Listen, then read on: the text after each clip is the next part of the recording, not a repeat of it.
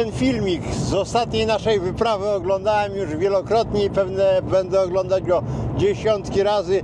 Dzisiaj droga nam się trochę dłuży, też wrzuciliśmy sobie go na ekranik, ale to była cudowna historia. Na początku była opowieść o Wikersie, który w czasie bombardowania, Wikers dwuwieżowy, spada z mostu pontonowego pod Modlinem i znika. I wtedy chłopcy ruszyli po tej wodzie, płyciutkie jak się okazało, by przynieść niesłychane wyniki pomiarów, a efekty widzieliście Państwo sami. Dzisiaj wracamy pod Modlin. Ja nie zdawałem sobie sprawy, jak wielka historia wojenna zapisana jest wokół tej twierdzy, rzeki, przedpola Warszawy.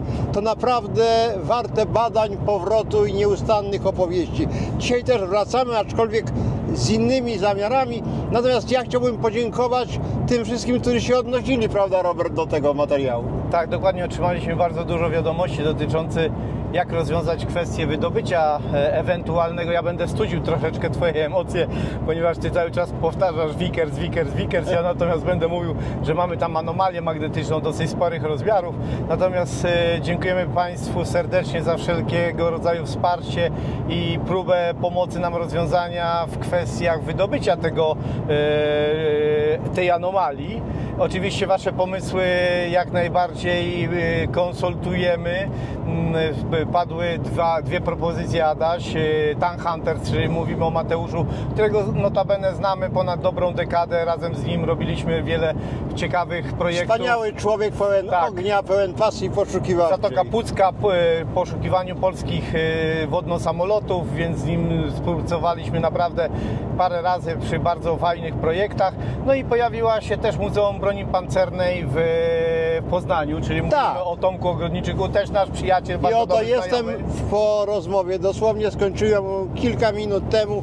Pułkownik Ogrodniczych powiedział, oczywiście, kto jak kto, ale Muzeum Broni Pancernej chce w tym uczestniczyć. Spotkajmy się nad Wisłą, dogadajmy szczegóły, zbudujmy zespół, oczywiście będziemy działać. Jak powiedziałeś Robert, z pełnym ryzykiem i świadomością, że może być to zatopiona barka, może być to wszystko, natomiast kształty i wymiary tak, mnie no. działają na wyobraźnię. Także kochani, dziękujemy Wam bardzo za te wszystkie sugestie, nawet te drobne złośliwości nam nie przeszkadzają, bowiem rozpaliła nas, nas myśl. Ale wracamy pod Modlin znowu, tym razem nie po wodzie, ale zagłębiamy się w nadbrzeżną dżunglę. A jeszcze na koniec serdecznie chcielibyśmy podziękować wszystkim naszym sympatykom za to wspaniałą rzecz, czyli za, za kawę, które od Was dostajemy. Naprawdę jest to wielkie dla nas wsparcie, ponieważ kilometrów Adaśku kręcimy naprawdę co niemiara. Tak, Robert przysypia to po, po czterech godzinach, mówi nie, nie, koniecznie kawa. Także jeszcze raz serdeczne dzięki, śledźcie nasz kanał i do zobaczenia na szklanym ekranie. Ruszając na kolejną badawczą wyprawę nad Wisłę, zaczynamy powoli zdawać sobie sprawę z tego, iż duże rzeki to ostatni nietknięty poszukiwawczo obszar w Polsce. Żaden ze stu tysięcy detektorystów nawet nie próbuje mocować się z gigantycznymi namuliskami piasku. Nurkowie nie mają zamiaru ośmieszać się w wodzie po kolana, a nawet tam, gdzie głębiej, mętna toń odbiera radość obcowania z podwodnym światem. A jak wielki jest skarbiec wojennych pamiątek zagrzebanych pod metrami piachu, uświadamiają nam kolejne dni nad wodą.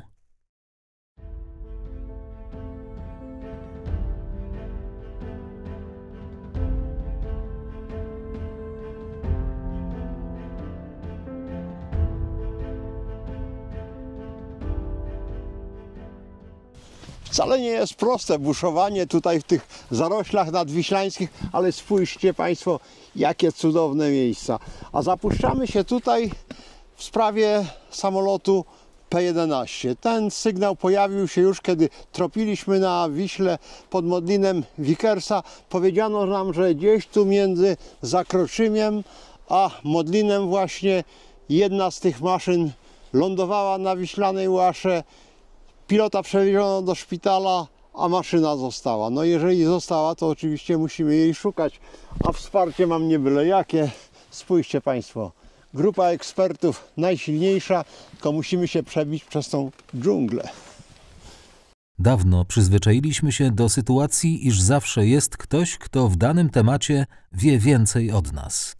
I od zawsze ekspertów, historyków z danych dziedzin i znawców dziejów lokalnych prosimy o współpracę. I nigdy nas nie zawiedli. Dobywają z zapomnienia historie otwierające nam szeroko oczy ze zdumienia. Tak jak ta, o której usłyszeliśmy od Marka Rogusza.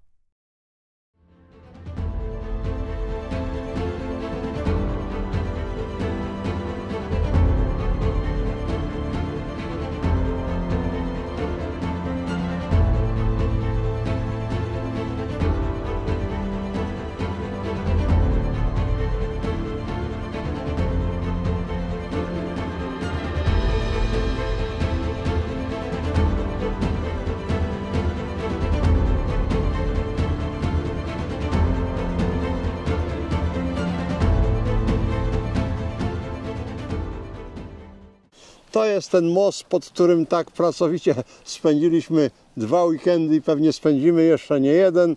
Tam są owe dwa samoloty, które gdzieś przy moście upadły, ale to samoloty niemieckie. Tam dalej to, co nam wygląda na Vickersa, powiem tuż przy moście pontonowym jest ogromny, ponad 5,5 metrowy kształt. No a gdzieś tutaj zdarzyła się podniebna tragedia, Marku. No, czy co, co wiemy? Wiemy, że wydarzenie miało miejsce 4 września 1939 roku e, w godzinach popołudniowych, e, gdzie 114 eskadra, wchodząca w skład brygady pościgowej, e, zaatakowała samoloty niemieckie dwusilnikowe. Oczywiście wydawało się, że to bombowce, ale okazało się, że, że to były Messerschmitty 110 i wywiązała się dość zacięta walka, w wyniku której został zestrzelony zastępca dowódcy 114 eskadry. Zestrzelony, ale ratował się. E, jeszcze. Tak, znaczy zestrzelony. No jego samolot e, był w w takim stanie, że nie umożliwiał kontynuowania walki. E, Musiał, musiał, sz- ponieważ też pilot był ranny, e, musiał bardzo szybko szukać jakiegoś miejsca do lądowania i przekazy mówią, że wylądował na łasze e, wiślanej. E, I kolejna taka dość ciekawa wskazówka e, jest taka, że relacje mówią, że w ciągu kilku, kilkunastu minut e, po tym wydarzeniu przyjechał samochód wojskowy z Kazunia. No, z Kazuń mamy gdzieś tam, całkiem niedaleko, więc prawdopodobnie na razie wiemy, że gdzieś mówimy o tej części właśnie Wisły. Tak się zastanawiam, Wojtku, podejdź do nas, bo jesteś zawodowym pilotem. Co trzeba mieć pod kołami, żeby wylądować na takiej łasze? Ile trzeba mieć tego piachu? Uff, Piachu, no jak najwięcej, ale w sytuacji takiej awaryjnej, gdzie on był postrzelany, samolot na pewno nie pozwolił mu na kontynuowanie tego lotu, no to ratuj się jak możesz. W każdym razie, jeśli widział tą łachę, no to każda, każda długość y, jest dobra, bo można podejść tak, że kończąc dobieg, czy samo już przyziemienie, na skraju tej łachy y, dotknąć kołami i po, po kilkudziesięciu Ile metrów metrach. potrzeba no na takim piachu to podejrzewam, że to jest bardzo krótki dobieg y, i jeśli to był piach taki rzeczny, miękki, to mogło się nawet skończyć kapotażem tego samolotu, bo w takim grząskim, grząskim terenie to ten samolocik natychmiast, jeszcze tym, tym bardziej miał taką decentrację, że silnik był z przodu i no, bardzo często właśnie na, na fotografiach widać te samoloty Tak, ale takich sztuk próbował profesor Pruszkowski w Kazimierzu, latając swoim samolotem Tiger Mode, troszkę innym, jednak dużo lżejszym. dużo lżejszym, ale wybierał te łachy mokrego piachu, które są chyba twardsze. No, są twardsze na pewno, także no, Tu wyboru nie ma. Jest sytuacja, kiedy Tak, jest grzeją mi z KM-ów po plecach,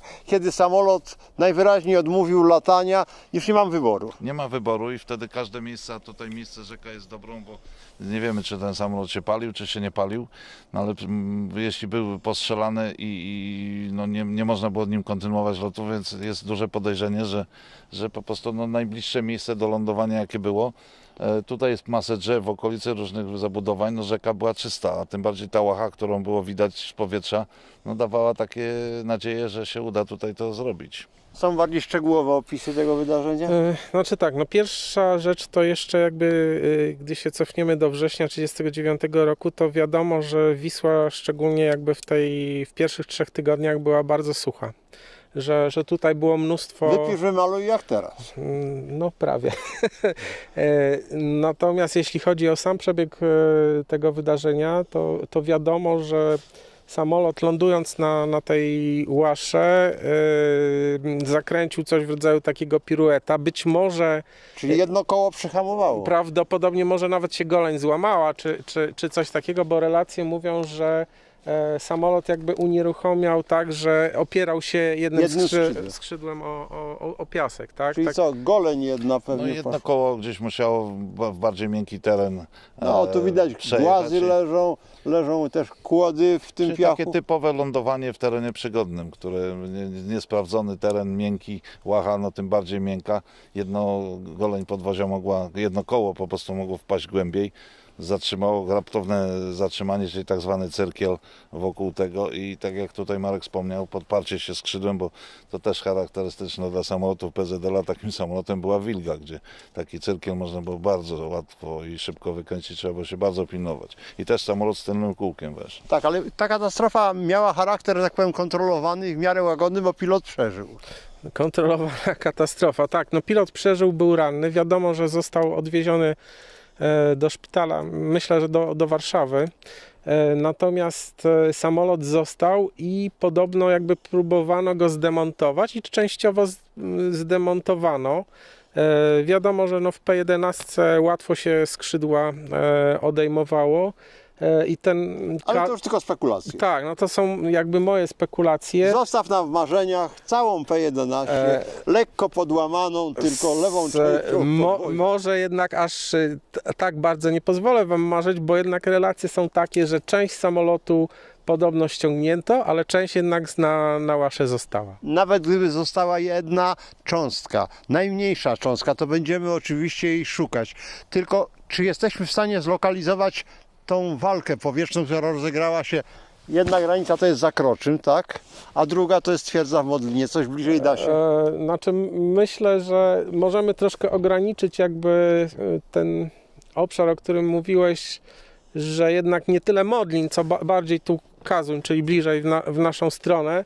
Natomiast w tą stronę, no cóż, jedyne co wiemy, to relacja mówiła, że samochód pojawił się po Z Fortu, tak? z Fortu w Kazuniu. Kazuniu. Po kilku minutach to by sugerowało, znaczy oczywiście No tak, w terenowych, poczucie czasu też każdy ma inne. drogach, bo to tylko terenowe drogi prowadziły do tego miejsca, to oznacza 3-4 kilometry. Tak, ja, znaczy ja sądzę, że, że no realnie to mm, nie więcej niż 1-2 km od, od, od Kazunia Czyli powinniśmy gdzieś tutaj. Gdzieś obszarze. tutaj, nawet Marku, jeżeli została jedna śrubeczka, ja powiem od razu tak. y, Spotkałem się w internecie ostatnio w komentarzach do naszego poprzedniego y, programu z takim dosyć lekceważącym określeniem P11 samolot rolniczy. Otóż Marku, był to niezwykły samolot bojowy, który wywołuje nasze ogromne emocje, do którego podchodzimy z wielkim szacunkiem i o którym myślimy y, z najwyższym podziwem. E, No jeśli chodzi o mnie, to na pewno zgadzam się z Tobą w 100%. E, Samolot no, powstał na początku lat 30. i był wtedy absolutną rewelacją. Właściwie to możemy sobie spokojnie powiedzieć, że Polska w momencie, gdy wprowadziła do pierwszej linii P11, które e, zastępowały wcześniej wprowadzone P7, była pierwszym i jedynym na świecie lotnictwem wyposażonym w całkowicie myśliwskim, całkowicie metalowe e, samoloty. Nikt tego wówczas nie miał. E, ogólnie płatowce PZL-a, te myśliwskie, wzbudzały tak duże zainteresowanie, że nawet Anglicy, którzy wtedy byli na początku jakby swojej drogi unowocześniania lotnictwa, między innymi gdzieś tam wchodził pomysł na specyfikacja na coś, co się potem stało Spitfire'em, ale Anglicy stwierdzili, kupmy może od Polaków takie samoloty, zobaczmy e, o co tam chodzi, jak one są z...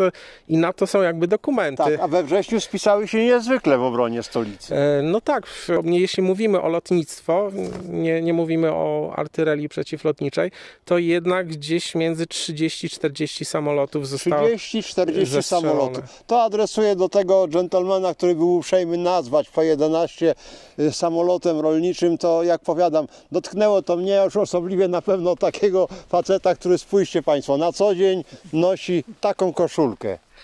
Kochasz te samoloty. Oczywiście. Tak, i to tytułem wstępu, być może długiego, ale to dla nas strasznie ważne. Jak powiadam, nas interesują głównie polskie, polskie tematy, polskie samoloty, polskie ofiary i ten polski wyczyn wojenny. Dlatego też rozpoczynamy kolejny z naszych tematów. Jesień jest dobrym czasem, kiedy nie wchodzimy na razie do wody, kiedy nie mamy jeszcze zezwoleń, dokumentacji oraz wszystkich potrzebnych partnerów. Rozszerzamy nasze zainteresowania tutaj wokół Modlina. Tutaj zakotwiczyliśmy się, mam wrażenie, trwale przynajmniej na, na pół roku i przygotujemy się do skanowania tego terenu. Oczywiście muszę teraz dać któremuś z kolegów kamerę do ręki, bo chciałbym poprosić Roberta o pokazanie nam animacji obrazujących łachy, nałożeniu, no, nałożenie map z 1939 roku, map współczesnych, żebyśmy wiedzieli, gdzie mniej więcej i czego szukać.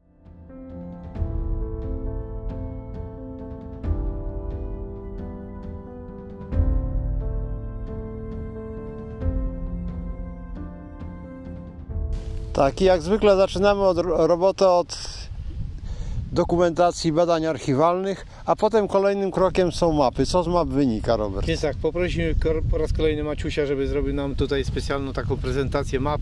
Trzy mapy, 34 rok, 41 i 55. Chcieliśmy zobaczyć jaka jest różnica w, w topografii terenowej. Przede wszystkim interesuje nas te łachy, które, na które mógł lądować TP-11.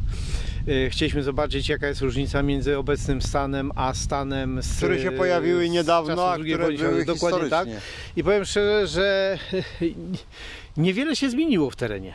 Mamy tu właśnie w tej chwili prezentację, to jest ogólnie mapa teraźniejsza, którą w tej chwili mamy. Tak. To, to już jest mapa z II wojny światowej, to jest rok 31. Widać tą łachę właśnie dokładnie w tym miejscu samym, która jest. Ona ma troszeczkę inny oczywiście kształt, inny jest tor rzeczny. Więcej piachu się osadziło na E, brzegach. Tak, nie? dokładnie. Natomiast po nałożeniu trzech map, a właściwie czterech, teraźniejszej i mówię z 33, 41 i 55 wyszła nam naprawdę bardzo ciekawa rzecz.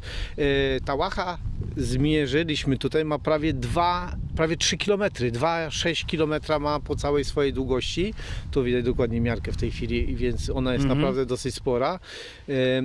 Tutaj w tej chwili zaraz będzie nałożenie, o następny map. Teraz mamy mapę tą z 30, e, 41 roku zakroczym, czyli to co nas fizycznie interesuje. Tu mamy dwie. Jedna jest tutaj w tym miejscu, druga jest w tym miejscu. Nie wiemy która, ale bo opotołujemy według relacji, że skoro zakroczymy, przyjechali z, z tej Kazunia. z Kazunia, to będzie ta łacha tutaj w tym miejscu, a nie ta fizycznie duża, bo musieliby wtedy przez Wisłę przechodzić, więc, więc nie ma takiej fizycznie opcji. Więc obstawiamy, że to jest ta łacha, która jest i zaraz będziemy mieli tutaj y, pokazane, jak ono wygląda. O, to jest rzeczywistość w tej chwili, a cofamy się i mamy mapę starą. Czyli większość terenu się po, y, pokrywa. Rozumiem, czyli, ale to właściwie wniosek jest, jest jeden. Musimy przebadać wszystkie łachy. Jeżeli trzeba, to trzeba. To jest P11, warta grzechu, więc w takim razie y, zrobimy wszystko w, no, w swojej mocy. Całe szczęście, że mamy teraz oddalono od wszelkiego rodzaju anomalii magnetycznych, więc... y, Nie ma mostu w pobliżu. Nie ma mostu, tak, przede wszystkim, więc może użyjemy. Jeżeli uda się zastosować magnetometr protonowy z okulną cewką, która jest w stanie lokalizować przedmioty z odległości, więc jeżeli zostały jakiekolwiek konstrukcje stalowe, żelazne lub ewentualnie elementy silnika, będzie bardzo prosto je fizycznie znaleźć.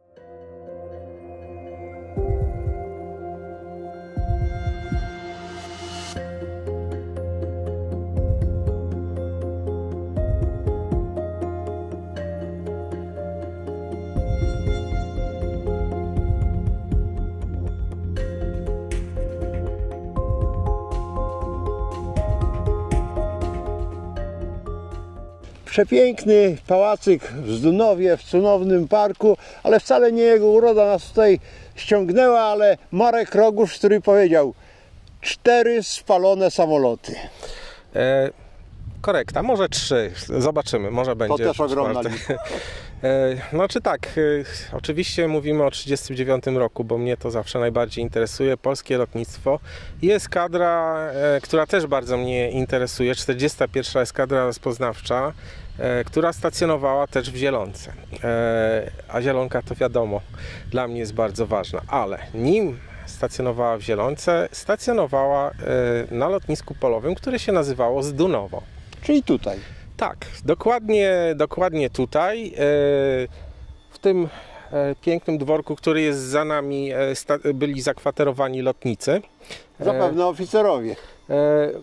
E, Ta eskadra nie była, nie miała aż tak rozbudowanego personelu, więc myślę, że oficerowie w dworku, a gdzieś tu obok pewno reszta per, personelu.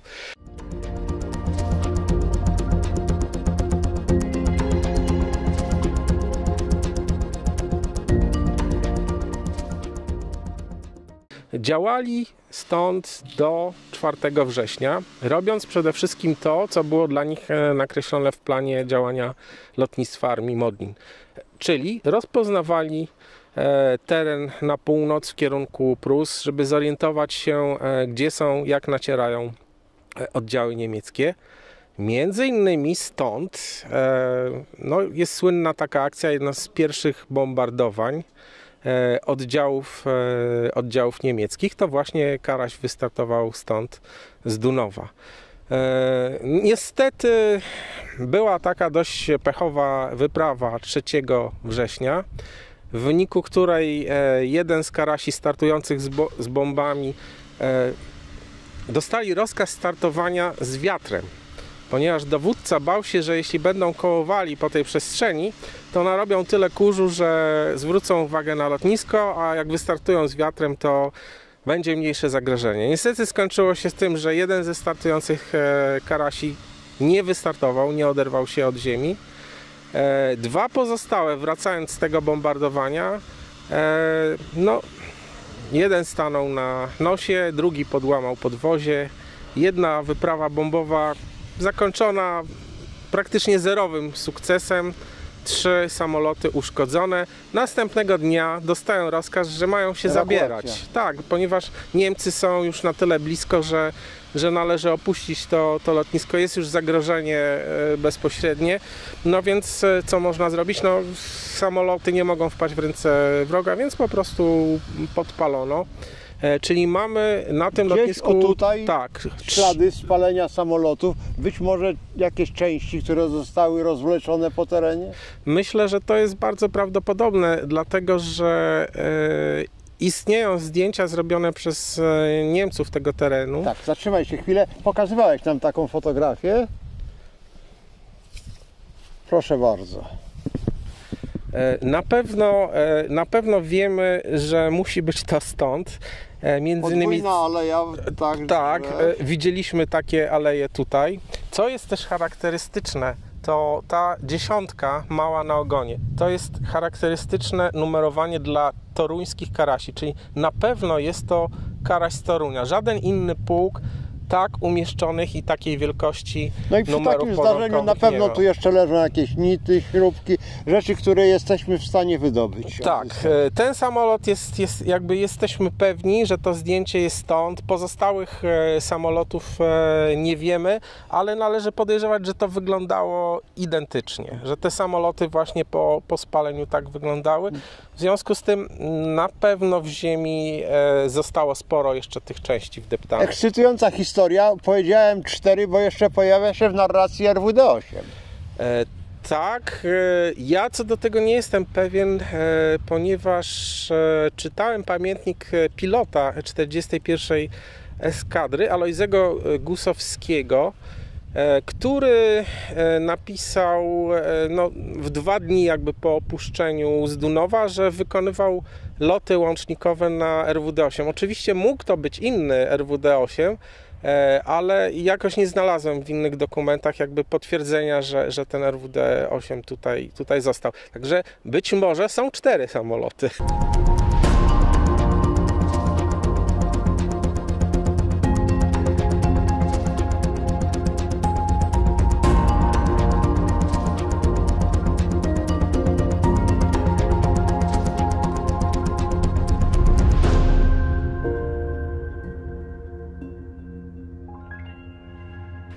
Lewo czy w prawo teraz? No proponuję przejść w lewo.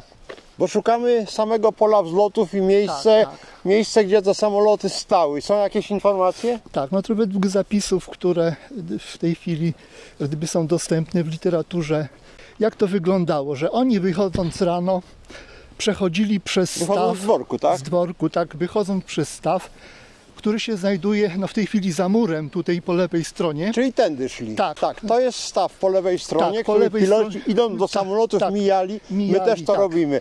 Drodzy Państwo, nasze dociekania mają taki głęboki sens, że oto kiedy przyjdziemy tutaj z ekipą poszukiwawczą zaopatrzeni w stosowne zezwolenia, nie będziemy się błąkać po okolicy, zaglądać tu, a może tu, a może tam, tylko przy pomocy właśnie takich dociekań źródłowych będziemy wiedzieli, gdzie zacząć. O, Sytuacja. Mamy, I docieramy i jak mamy gdyby skraj lasu. skraj lasu, tak. Ten lasek, o, to jest obszar wielce interesujący. Zakreślamy go w pamięci, zakreślamy na mapie. Zapewne tej zabudowy tutaj nie było. Nie było, nie było.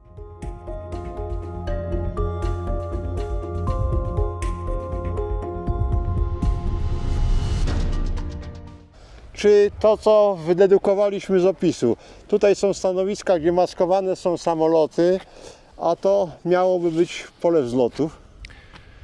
Z tego co widać, tam jest na końcu boisko aktualnie, czyli tam trzeba jeszcze dodać jakieś 200 metrów do tych drzew. No tutaj około kilometra tak praktycznie z tego miejsca. Karasiowi to wystarczy? I ile Karaś potrzebował? Znaczy, lotnisko dla eskadry liniowej no, zwykle miało minimum mieć 1000, e, 1000 metrów. Zobaczcie, tutaj idąc jeszcze dalej, mamy teren odkryty na, na, na długości ponad kilometra przed nami. Imponujące. To- to- A to- tam znowu jest aleja. Kto wie, czy to nie jest ta aleja Marku z fotografii? No właśnie. Tak, tak. Wydaje mi się, że to jest bardzo, bardzo Czyli tam, prawdopodobne. nie przy dworze. Tak, i to by według reguły, bo najczęściej tutaj na Mazowszu te wiatry to zazwyczaj, tak jak do dzisiejszego dnia zauważcie Państwo, że większość lotnisk w Polsce, a, a szczególnie tutaj tych na Mazowszu, mają pasy wschód-zachód. Czyli tu jest ten kierunek 270, 090, wschód-zachód idealnie.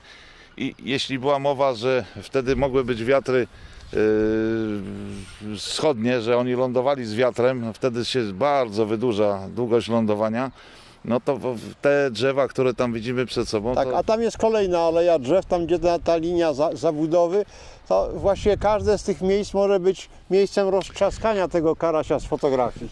E, Znaczy tak, tym bardziej, że mówiliśmy o trzech samolotach i to nie znaczy, że te trzy samoloty były, Razem. były razem. E, Na pewno wiemy, że jeden z nich był jakby odrębnie, a dwa być może były gdzieś obok, e, obok siebie. Także no to mm, trzeba będzie szukać w paru miejscach. Tak, ale to jest metoda przybliżeń. Zaczęliśmy od hasła z Dunowo, do, dzisiaj ran, do, do dzisiejszego ranka nie wiedziałem nawet gdzie to jest na mapie. Potem oparłem się o pamięć i o wiedzę kolegów i jesteśmy, mam wrażenie, właśnie w centrum tego lotniska. Gdybyśmy zamknęli oczy 2 bądź 3 września 1939 roku, z tyłu rozległby się łomot silników nad naszymi głowami, przemknęłyby karasie do akcji. To jest ważne. My teraz przystąpimy do strony formalnej, a poza tym kłaniam się kolegom poszukiwaczom z tych stron, ponieważ zwykle poszukiwacze wiedzą wszystko o tym, co w terenie się tutaj dzieje. Jeżeli macie takie informacje, hasło z Dunowo, drobiazgi lotnicze, dosłownie drobiazgi, odezwijcie się do nas. Każda z naszych wypraw, mamy nadzieję, że i ta działa jak kamień rzucony w wodę, generując coraz szersze kręgi. I z tych kręgów spływają do nas informacje, których nie ma w literaturze, a które dla poszukiwań mają charakter bezcenny. Dzielcie się z nami waszą wiedzą. Czekamy na wasze komentarze, oczywiście lajki i tych, którzy wiążą się z nami w sposób trwalszy, subskrybentów. Do zobaczenia.